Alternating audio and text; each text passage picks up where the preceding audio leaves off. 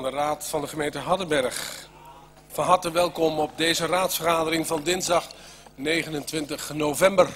Het welkom geldt ook de mensen op de publieke tribune, uh, de vertegenwoordigers van de media. Van harte welkom. En uh, mensen die ons thuis uh, beluisteren via de sociale, dan wel de andere media. De vergadering is geopend onder mededeling van afwezigheid van de heer Mulder, mevrouw van Veldhuizen, de heer Klaas Mulder, mevrouw Petra Baaslag en mevrouw Van der Hoek. En uh, voor het overige zijn wij aanwezig, constateer ik. Vaststelling van de agenda. Kan deze agenda uw goedkeuring wegdragen? Akkoord.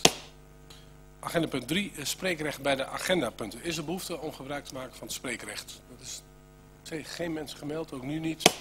Akkoord. Agenda punt 4, de actuele vragenronde. Is er actualiteit die noopt tot het stellen van een vraag? Dat is niet het geval. Akkoord. Agenda punt 5, vaststellen van de besluitenlijst van de raadsvergadering van 8 en 14 november.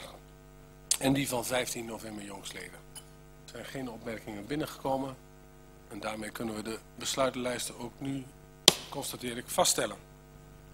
Brengt ons bij de hamerstukken van uh, deze raadsvergadering, waarvoor een uh, stemverklaring mogelijk is. Er is één agendapunt, constateer ik, agendapunt 6. Aanvraag voor de vangnetregeling 2016. Behoefte aan een stemverklaring, dat is niet het geval. Dan stel ik uh, voor om uh, dit voorstel aan te nemen. Kunt u daarmee instemmen. Fracties hier aanwezig, vertegenwoordigd, stemmen in met het voorstel. Aanvraag vangnetregeling 2016. Gaan wij door met de agenda. Te weten met agenda punt 7, de rondvraag.